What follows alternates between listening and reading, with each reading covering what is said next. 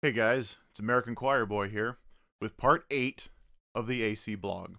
Today, I'm doing a Q&A, questions and answers.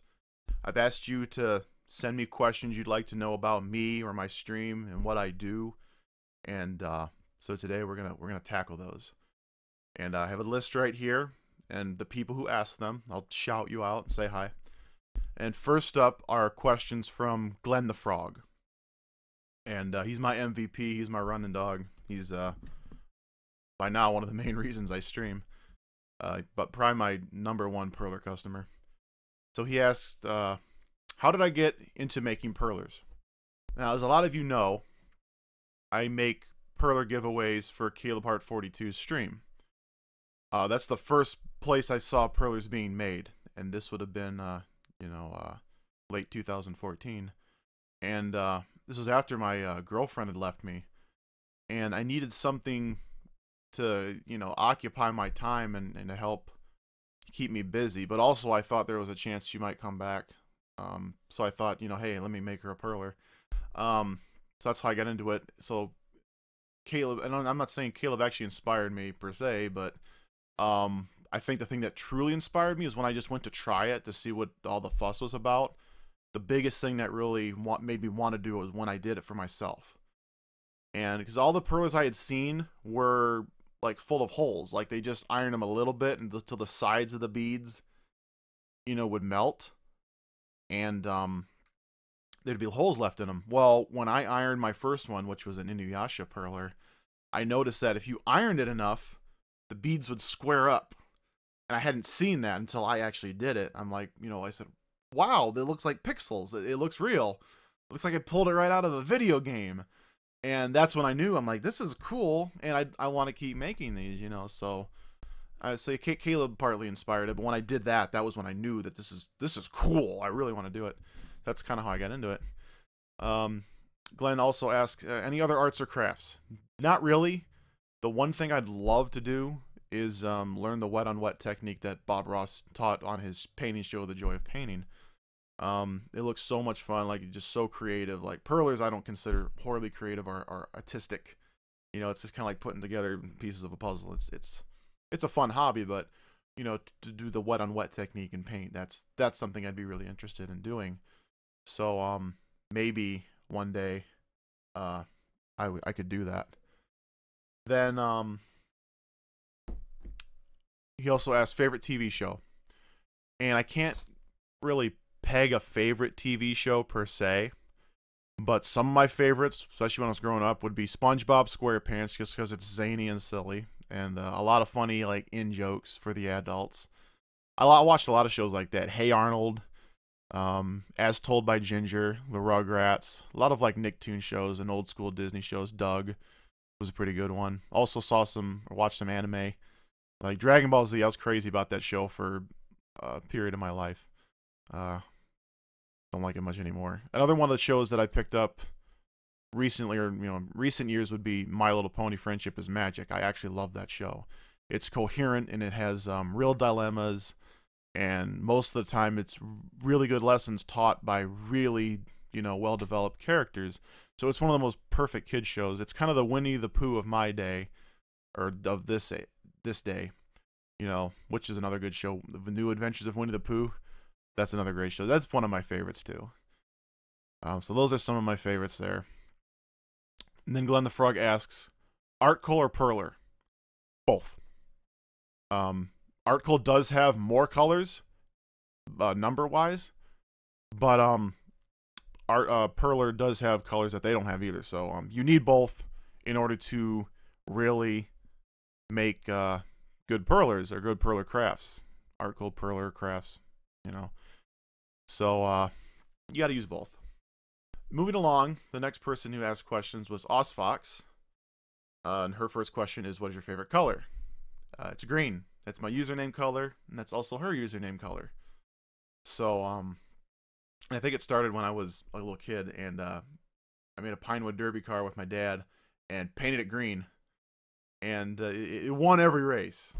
It won every single race that it, that it went, and uh, I want to say that's one of my earliest remembrances of saying, you know, I want green. It's it's the best color. I would have been six or seven at the time.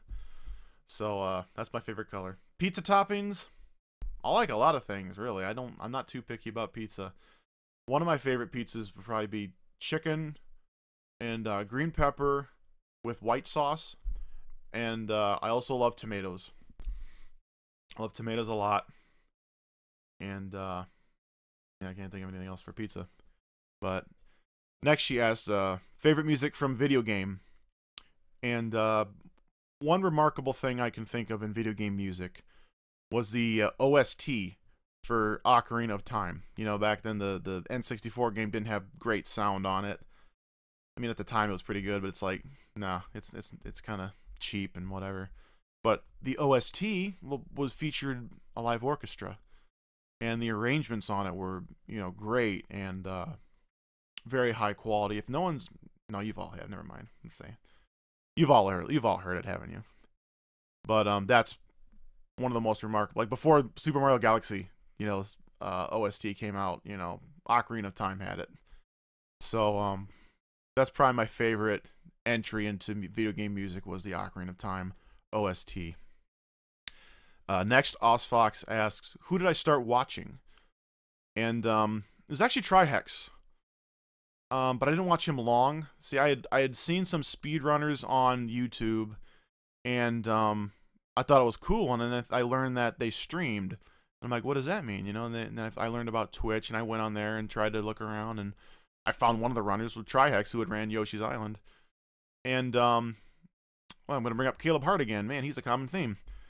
I asked Trihex's chat, who is the most passionate or dedicated speedrunner? And five people immediately jumped up and said Caleb Hart 42. So Caleb was one of the ones I started watching mostly for a long time. I was I was eventually I was there every day. I had subscribed, you know, shortly after I started watching. So that's mainly who I started watching. I didn't watch Trihex too much. I'm not sure why. He's a cool guy. He's a great guy. Um. So anyway, mostly Caleb for the start. I'm not not sure who I started watching after that. I started watching Tessichka, who's uh a great streamer who does variety, as well as Snowlit, who's a variety streamer. Um, Linksaria, same deal. Those were kind of the first ones I sat and watched. Um, also, Lupin the Mailman. He was one who helped me get streaming too. I haven't seen him in a long time, and I really miss him. Uh, so he was one of the early ones, and he's I I still would love to see him come back and stream. So um, uh, moving on, I Greeny asked me uh like if I had a favorite sushi. I've never eaten sushi. I don't know what it's about. Um, I, I know it's not just raw fish, but I don't I don't know what the culture is. I've never eaten it really at all. So maybe someone could enlighten me on that, on where I should go and what I should try. I don't know. So no no sushi. Favorite bead color? She also asked, and um, I can't really peg one like looking at a color and saying what my favorite ones are. Probably the greens because that's my favorite color. Period.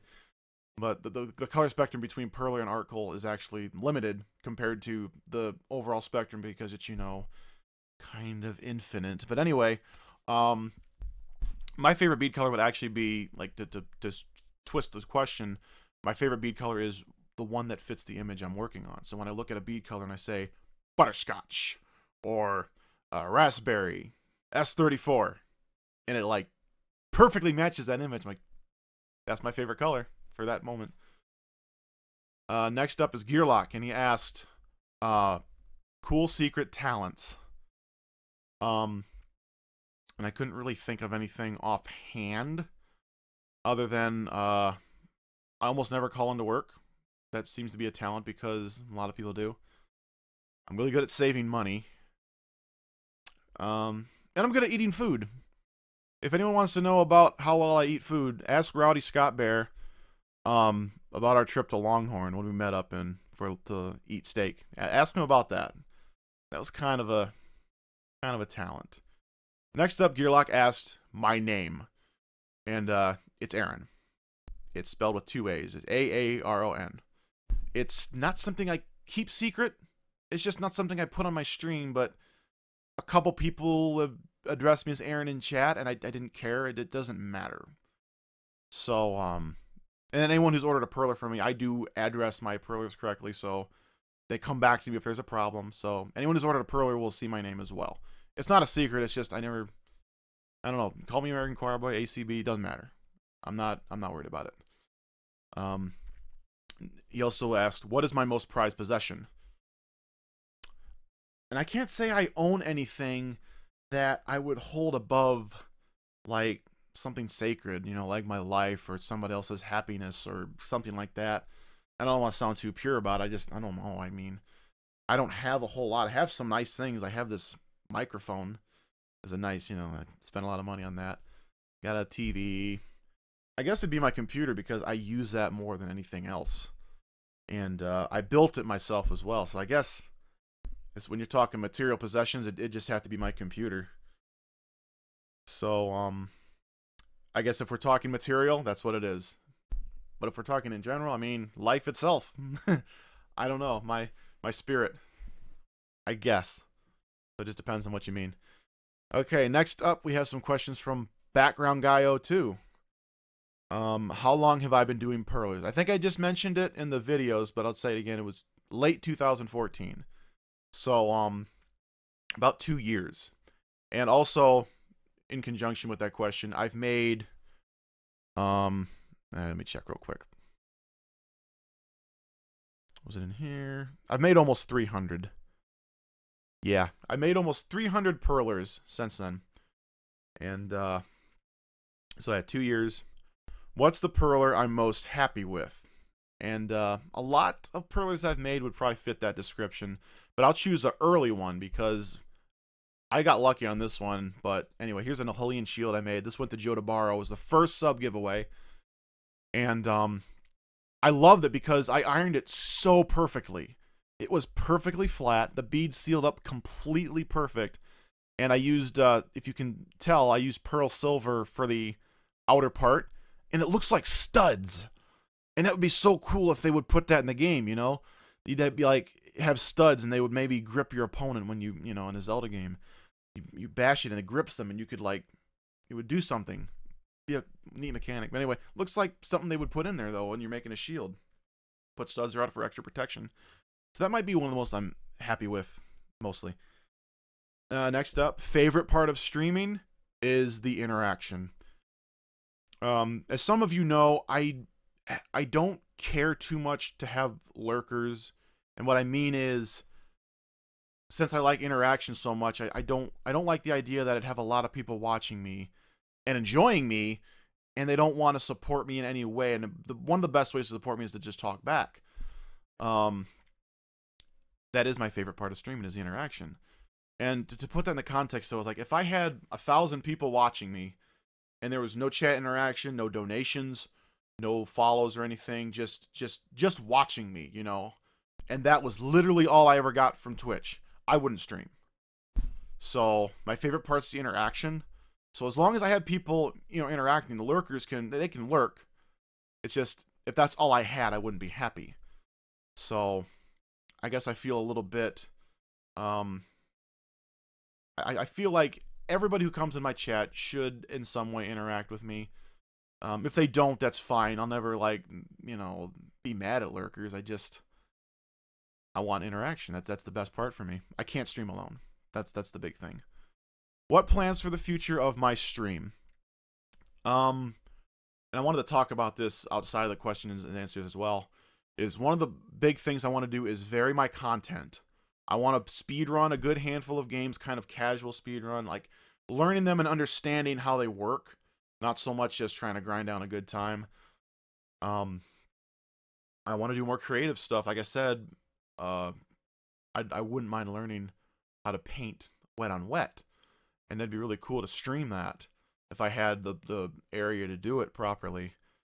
Uh, I can get the equipment no problem. That I could place an order right now and have it everything I would need shipped, but I don't really have room.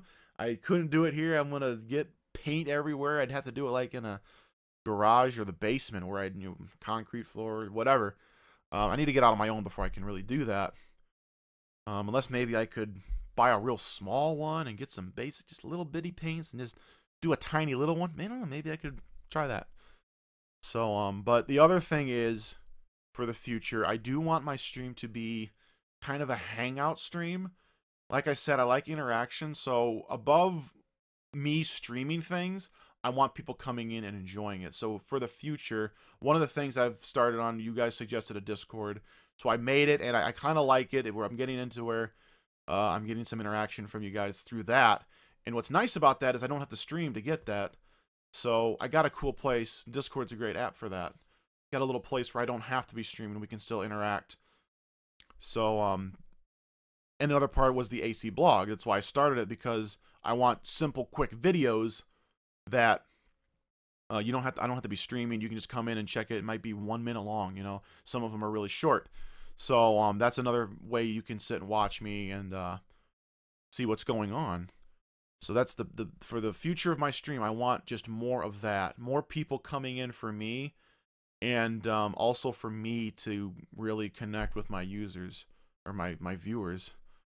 And um, so I hope to grow and get more viewers in so I can interact with them on that level and we can really uh, interact on, on just what I'm doing, not because I'm doing something like speed running. It's just you want to see what I'm doing.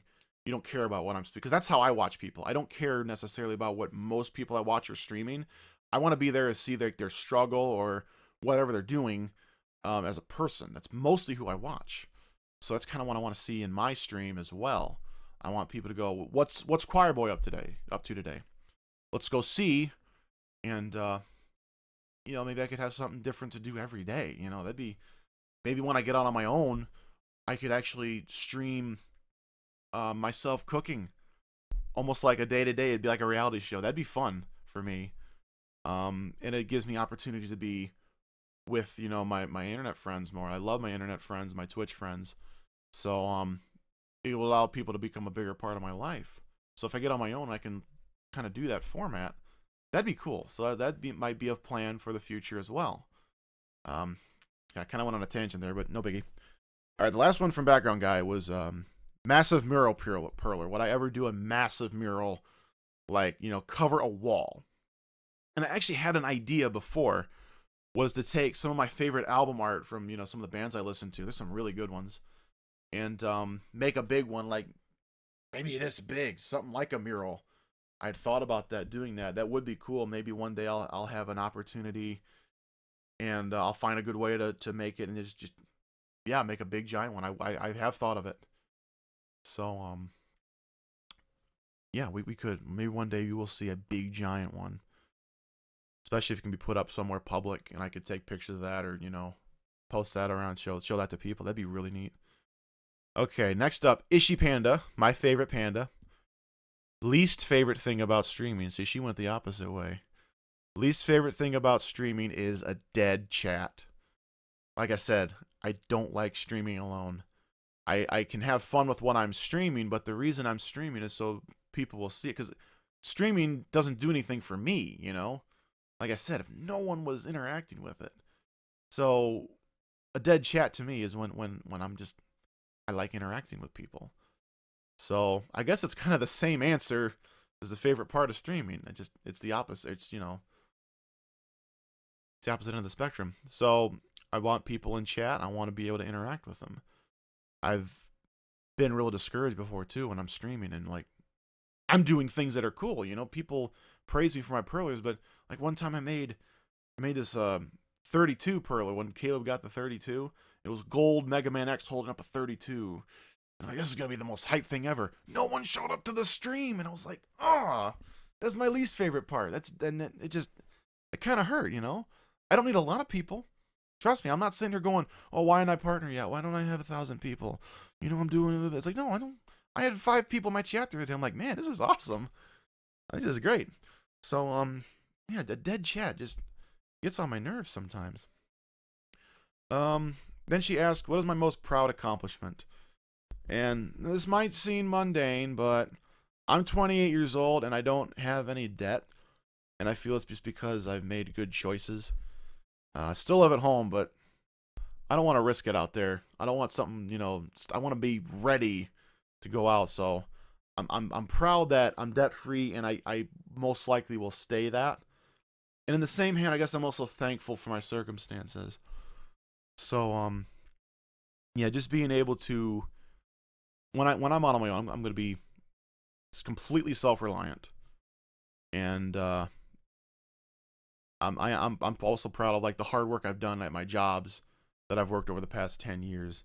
I've done really well. I've impressed a lot of people. And uh I, I feel good when I do a good good day's work, and uh, I'm almost I've only called off a small handful of times in the past ten years, so just kind of my work ethic, I guess, and uh, my ability to save money. I am proud of that. Next is she asks, "What is missing from the stream?" And uh, I guess we've covered this. You know, I want more more people to interact with. Um, I guess to touch more on the idea that I'd like to be on my own, have a, a better space to stream in would be nice. It would be what my stream needs. Also, better internet. You know, I can make high quality videos and upload them to YouTube and everything. It's just a matter of time. But when I'm streaming, as you guys know, this DSL ain't working out so well. Um, I'd like to be able to stream upwards of 1800 to 2000 kilobits per second, and then that, that'd be fine. Um, I hear fiber internet's supposed to be coming to my town sometime soon. So I hope we can increase the stream quality. Um, that's probably the biggest thing that's missing actually is the ability to make a good quality looking stream. Because I'm not happy with my stream quality. It works, but it's not. It's probably one of the biggest things missing.